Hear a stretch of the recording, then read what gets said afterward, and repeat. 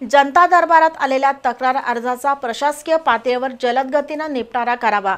जनता दरबारात दाखल झालेल्या अर्जांबाबत नागरिकांना वारंवार हेलपाटे मारावे लागू नयेत अशा सक्त सूचना पालकमंत्री हसन मुश्रीफ यांनी दिल्या. जिल्हाधिकारी कार्यालयात नामदार मुश्रीफ यांच्या उपस्थितीत झालेल्या जनता दरबारात आज दोनशे पन्नास अर्ज दाखल झाले. नेहमीप्रमाणे महसूल विभागाशी सर्वाधिक अर्ज आहेत.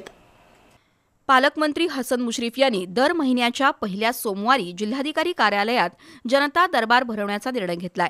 त्यानुसार आज नामदार हसन मुश्रीफ यांच्यासह प्रमुख अधिकाऱ्यांच्या उपस्थितीत जनता दरबार पार पडला.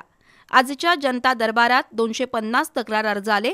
महसूल विभागाशी संबंधित चौसष्ट अर्ज जिल्हा परिषद सत्तावीस अर्ज कोल्हापूर महापालिका बावीस पोलीस विभाग एकोणीस भूमी अभिलेख कार्यालयाबद्दल नऊ तक्रारी आहेत.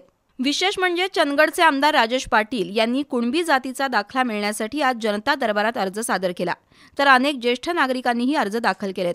जनता दरबारात सादर झालेल्या तक्रार अर्जांचा जलद गतीनं निपटारा करावा नागरिकांना एकाच कामासाठी वारंवार सरकारी कार्यालयात हेलपाटे मारावे लागू नयेत अशा सूचना पालकमंत्र्यांनी दिल्या. विकसित भारत संकल्प यात्रा अभियान प्रभावीपणे राबवावं असंही त्यांनी सांगितलं.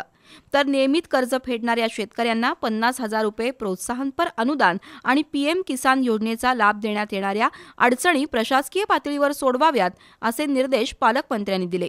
यावेळी आमदार पी एन पाटील जिल्हाधिकारी राहुल रेखावार महापालिका आयुक्त के मंजुलक्ष्मी मुख्य कार्यकारी अधिकारी संतोष पाटील पोलीस अधीक्षक महेंद्र पंडित यांच्यासह वरिष्ठ अधिकारी उपस्थित होते. दरम्यान तरसाच्या हल्ल्यात पंधरा बकरी मृत्युमुखी पडलेल्या कागल तालुक्यातील खानू रानगे या मेंढपाळाला हसन मुश्रीफ फाउंडेशनच्या वतीनं दहा हजार रुपयांची मदत देण्यात आली.